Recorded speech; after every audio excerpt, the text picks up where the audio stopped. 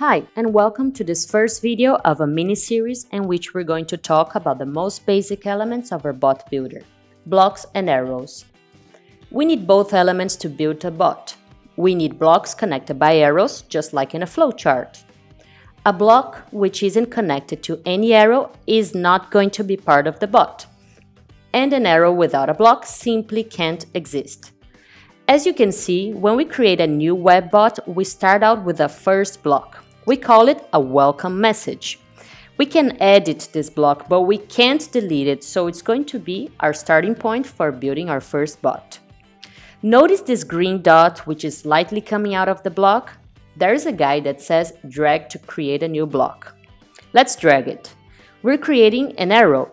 As we drop the mouse, a drop-down menu appears. Here we can choose the block we want to create.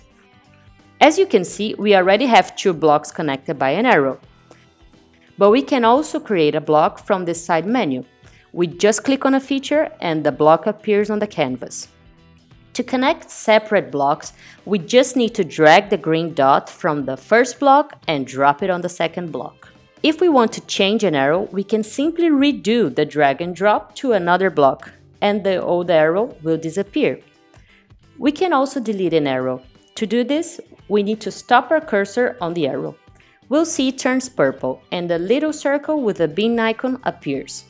If we double click on the arrow, the circle will stay even if we move the mouse. Just click on the circle to delete an arrow.